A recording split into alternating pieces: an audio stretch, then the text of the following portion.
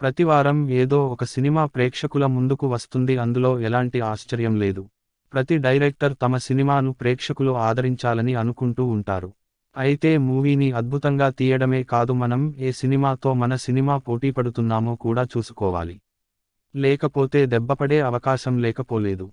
గత వారం టాలీవుడ్ నుంచి బేబీ అనే సినిమా విడుదలైన సంగతి తెలిసిందే. చిన్న సినిమాలే కదా అని అందరూ మొదట తేలికగా తీసుకున్నారు.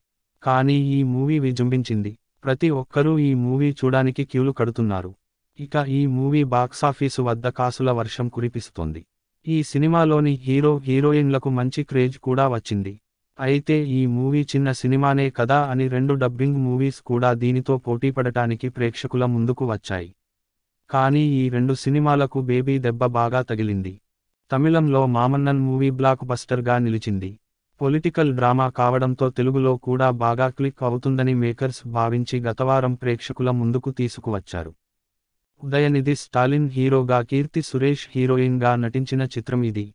నిజానికి ఈ మూవీ మామూలు సమయంలో థియేటర్స్ ముందుకు వచ్చి ఉంటే ఇక్కడ కూడా మంచి హిట్ అయ్యేది కానీ ఎవరూ ఈ సినిమాను కనీసం చూడటానికి కూడా ఆసక్తి చూపించలేదు. ఎందుకంటే ప్రమోషన్స్ విషయంలో చాలా నిర్లక్ష్యం చేశారు. సురేష్ ప్రొడక్షన్స్ ఏషియన్ సినిమాస్ వంటి బడా డిస్ట్రిబ్యూటర్స్ తెలుగులో విడుదల చేశారు. సినిమాలో పెద్దగా తెలియని వాళ్ళు ఎవరు లేరు. వడివేలు ఒకప్పుడు తెలుగులో కూడా ఒకే తరహాలో క్రేజ్ అందుకున్నాడు. ఇక కీర్తి గురించి చెప్పనక్కర్లేదు.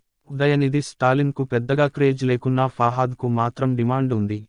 వీళ్ళతో ఒక ప్రమోషన్ ఇంటర్వ్యూ చేయించిన సరిపోయేది.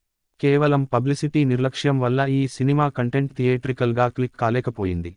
దీనికి మరో కారణం కూడా ఉంది. ఈ మూవీ నెట్ఫ్లిక్స్లో ఈ నెల ఇరవై ఏడో తేదీన విడుదల చేయనున్నారు. ఈ క్రమంలో ఓటీటీలో వచ్చేస్తుంది అనే భావనతో కూడా చాలా మంది చూడటానికి ఆసక్తి చూపించకపోవచ్చు. కారణం ఏదైనా ఈ సినిమాకు తెలుగులో బాగానే దెబ్బపడింది మరో సినిమా శివ కార్తికేయన్ హీరోగా నటించిన చిత్రం మహావీరుడు. ఈ మహావీరుడు సినిమా ఫుల్ ఎంటర్టైనర్ కాగా ఈ మూవీని కూడా కనీసం ఎవరూ చూడటానికి ఆసక్తి చూపించకపోవడం గమనార్హం. నిజానికి శివకార్తికేయన్కి ఇక్కడ మంచి ఫాలోయింగే ఉంది.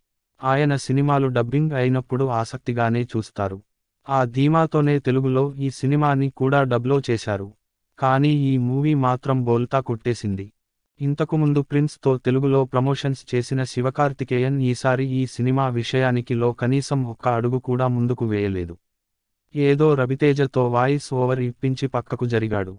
నిజానికి మంచి సినిమానే కానీ ప్రమోట్ చేయకపో